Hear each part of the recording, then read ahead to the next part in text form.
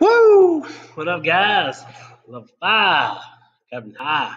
Hostess with the mostest, Mr. Johnson. And today, we're going to finish up our switching receptacle. Now, I had forgotten that we uh, needed to finish this up. I thought I was done with Google Class. Ha ha ha! Ye little faith. So instead, we are uh, kind of finishing up right here. In our last video, I think we left off with our switch and receptacle. So what I did was I wired black from the switch and a black 14-2. And I made a twist like so. Can you see that? Kind of, sort of, maybe. All right. I bruised it just a little bit, y'all. A little bruising is okay.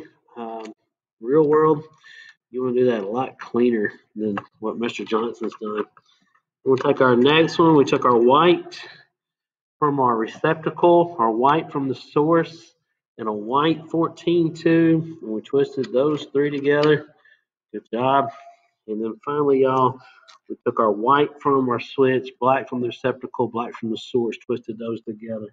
Personally, I like my first twist the best. The other two twists eh, did not turn out too good. I, I used uh, these pliers right here. All right. I'm okay. I think your needle nose works a little better, easier, mobile, agile. All right. Then the moment of truth. Can we see light camera action? Let's see. I got my switch or source switched out, ready to go and test. Nothing.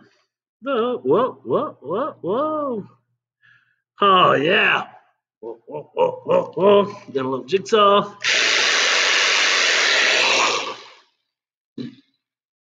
Camera off, camera on, camera off, camera on, camera off, camera on. And guys, that's the first of two projects that we'll do in class. Uh, this spring, we're hoping to renovate and do a little more electricity over at uh, Cobb Harbor Memorial Stadium in that barn, as we hope to get it ready by May 2021 to do some livestock showing with CHS. Who you're rooting for? FFA. Got any questions? Follow me on Twitter at JJFFA or follow Covenant FFA at COVFFA. Woo.